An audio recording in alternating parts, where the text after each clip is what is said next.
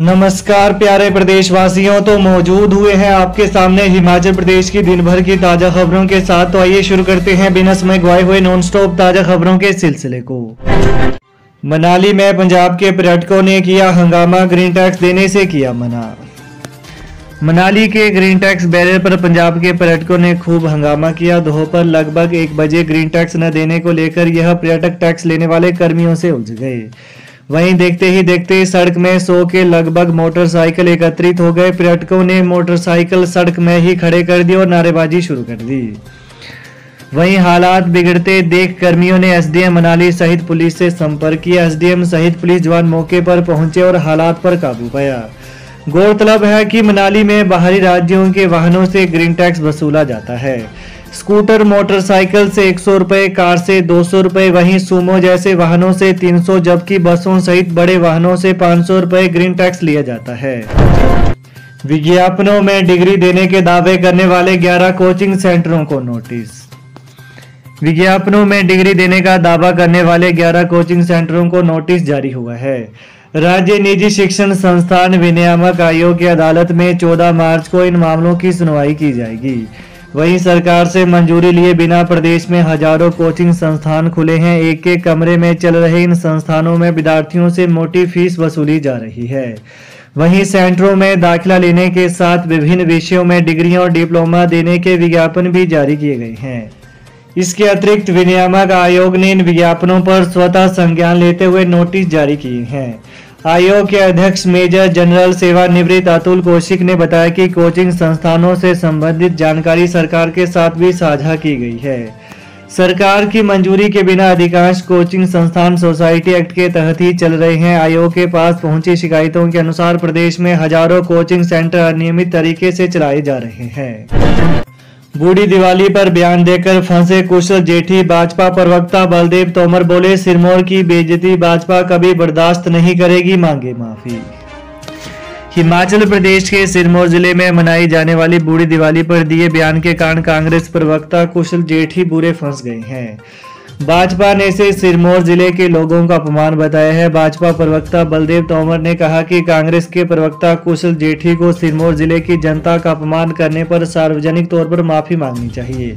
इसके अतिरिक्त तोमर ने कांग्रेस प्रवक्ता के उस बयान पर खेद जताया, जिसमें उन्होंने कहा कि भगवान राम जब रावण का वध कर कर आए थे तो सिरमौर के लोगों को एक महीने बाद पता लगा था कि भगवान राम ने रावण का वध कर दिया है। इसलिए सिरमौर के लोग एक महीने बाद बूढ़ी दिवाली मनाते हैं। कांग्रेस प्रवक्ता की इस प्रकार सिरमौर के बारे में टिप्पणी न केवल निंदनीय है, बल्कि अशोभनीय भी है। चयन आयोग को भंग करने के 11 दिन बाद भी शिमला शिफ्ट नहीं हुआ रिकॉर्ड। हिमाचल प्रदेश कर्मचारी चयन आयोग हमीरपुर को भंग करने के 11 दिन बाद भी न तो यहाँ से विभिन्न भर्तियों का रिकॉर्ड प्रदेश लोक सेवा आयोग शिमला शिफ्ट हो पाया है। और न ही हमीरपुर आयोग में सेवारत कर्मचारियों की अन्य विभागों में समायोजन का कार्य मुकम्मल हो पाया है, जिसके चलते कर्मचारियों और अभ्यर्थियों में ऊहा वाली स्थिति बनी हुई है। बता दें कि 23 दिसंबर 2022 को आयोग के माध्यम से आयोजित होने वाली जे भर्ती परीक्षा का पेपर लीक हुआ था। विजिलेंस में आठ लोगों के खिलाफ मामला दर्ज होने के बाद प्रदेश सरकार ने 26 दिसंबर को चयन आयोग के कामकाज को निलंबित कर दिया। सुखराम बोले, बजट का बहाना बनाकर जनता को गुमराह न करे सीएम सुखू। मुख्यमंत्री सुखविंदर सिंह सुखू बजट का बहाना बनाकर लोगों को गुमराह करने का प्रयास न करे। यह बात पावटा साहिब में पत्रकार वार्ता में पूर्व ऊर्जा मंत्री एवं विधायक सुखराम चौधरी ने कही। उन्होंने कहा कि 2017 के विधानसभा चुनाव में चुनाव से पहले कांग्रेस द्वारा खोले गए संस्थानों को भाजपा ने बंद करने की बजाय उसके लिए बजट उपलब्ध करवाकर उन्हें चलाने का काम किया था। लेकिन सुखू सरकार बदले की भावना से काम कर रही है। उन्होंने कहा कि पूर्व मुख्यमंत्री प्रेम कुमार धूमल के राज में पच्चीस हज़ार करोड़ रुपए का कर्ज था। लेकिन 2017 में वीरभद्र सिंह के समय पचास हज़ार करोड़ कर चढ़ाया था। इसके अतिरिक्त सुखराम ने कहा कि मुख्यमंत्री चुनाव के दौरान लोगों को दी गई दस गारंटियों से ध्यान भटकाने के लिए इस तरह के कदम उठा रहे हैं। कहा कि 30 लाख महिलाओं को पंद्रह सौ रूपए महीना देने की चुनाव से पहले बात कही थी, वो भी पूरा नहीं हुई। इसके विपरीत कैबिनेट बैठक में प्रदेश में 1500 स्कूलों को बंद करने का निर्णय लिया गया है। इससे ग्रामीण क्षेत्र के बच्चे शिक्षा लेने से वंचित रहेंगे। साथ ही कहा कि पिछले छह महीनों से विकास कार्य ठप पड़े हैं। इकतीस मार्च आने वाला है और मार्च के बाद बजट लैप्स होगा उसकी ज़िम्मेदारी कौन लेगा? शिमला नगर निगम चुनाव को लेकर बीजेपी की बैठक पूर्व सीएम जयराम ठाकुर ने नेताओं से की चर्चा, जिताऊ उम्मीदवार पर फोकस।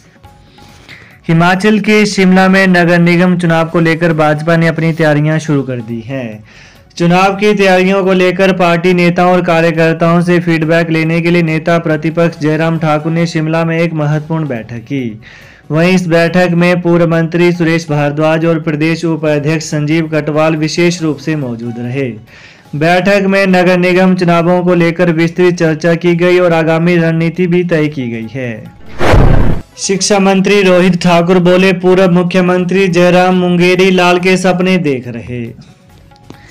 प्रदेश के शिक्षा मंत्री रोहित ठाकुर ने कहा कि पूर्व मुख्यमंत्री जयराम ठाकुर मुंगेरी लाल के सपने देख रहे हैं। उनका कहना है कि प्रदेश की पूर्व भाजपा सरकार ने कांग्रेस सरकार को छियासी हज़ार करोड़ का कर्ज विरासत में दिया है।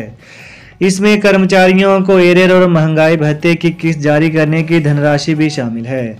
शिक्षा मंत्री ने आज यहाँ सचिवालय के कमेटी हॉल में प्रेस सम्मेलन में कहा कि हिमाचल के बंद किए दो सौ छियासी स्कूलों में छात्रों की संख्या शून्य थी और इनमें शिक्षकों की तैनाती की गई थी। इसके अतिरिक्त उन्होंने कहा कि स्कूलों में शिक्षा ग्रहण करने के लिए किसी भी छात्र का पंजीकरण नहीं था। ये संस्थान पूर्व सरकार ने सत्ता से बाहर जाने से छह माह पहले खोले थे।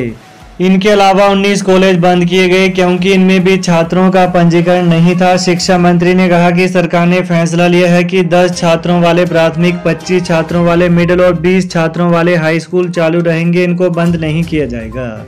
वहीं शिक्षा मंत्री का कहना है कि इसी तरह से वरिष्ठ माध्यमिक स्कूल में 25 छात्रों, पैंसठ छात्रों की संख्या वाले कॉलेज भी बंद नहीं होंगे। मंत्री ने कहा कि प्रदेश के तीन हज़ार से अधिक प्राइमरी स्कूल ऐसे हैं जहाँ सिर्फ़ एक एक शिक्षक सेवाएँ दे रहे हैं। ऐसे स्कूलों में उन शिक्षकों को भेजा जाएगा जो सरकार ने बंद किए हैं। 314 स्कूलों में दूसरे स्कूलों से शिक्षक प्रतिनियुक्ति पर भेजे हैं। इन स्कूलों में भी बंद हुए स्कूलों के शिक्षकों की तैनाती की जाएगी। सीएम सुखू ने 6 मार्च को फिर बुलाई कैबिनेट बैठक। ओपीएस के बाद ये दूसरा बड़ा निर्णय ले सकती है सरकार। मुख्यमंत्री सुखविंदर सिंह सुक्खू ने एक सप्ताह के भीतर तीसरी मंत्रिमंडल बैठक बुलाई है। इससे पहले सरकार ने पहले एक मार्च, फिर तीन मार्च और उसके बाद अब छह मार्च, यानी कल दोपहर दो बजे मंत्रिमंडल की बैठक बुलाई है। ऐसे में सरकार पुरानी पेंशन योजना ओपीएस को एक अप्रैल 2023 से लागू करने के बाद दूसरा बड़ा निर्णय ले सकती है। यह बड़ा निर्णय 18 से 60 वर्ष की महिलाओं को पंद्रह सौ देने के विषय में हो सकता है।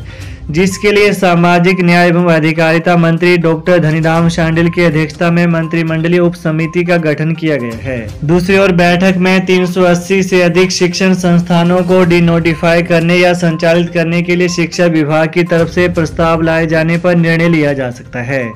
इसी तरह से सरकार को एनडीटी भर्ती मामले को लेकर भी निर्णय लेना है, जिस पर सरकारी स्तर पर मंत्रणा की जा रही है। विभिन्न विभागों की तरफ़ से लाए जाने वाले प्रस्तावों पर मंत्रिमंडल बैठक में मोहर लग सकती है। तो ये है आज दिन भर के मुख्य समाचार। तो प्रदेश की ताज़ा खबरों को पाने के लिए चैनल को ज़रूर सब्सक्राइब करें। थैंक्स फॉर वॉचिंग जय हिंद, जय हिमाचल। बंगाल से सिद्धि प्राप्त चौसठ शक्तियों के माहिर। Immediately result Baba Salim Khan. पक्का काम तुरंत समाधान। हम कहते नहीं, करके दिखाते हैं। इट इज़ माई प्रॉमिस जैसे नौकरी कारोबार, घर में क्लेश, किया किराया, जादू टोना लव मैरिज प्रॉब्लम स्वतंत्र दुश्मन से छुटकारा, विदेश यात्रा स्पेशलिस्ट मनमोहनी, वशीकरण व मुठ करनी घर बैठे 11 घंटों में ए टू जेड समस्याओं का पक्का समाधान करवाएँ। 101 परसेंट गारंटी स्टाम्प पेपर पर लिख कर लें। अभी फ़ोन करें। Mobile number double eight six zero five 81665.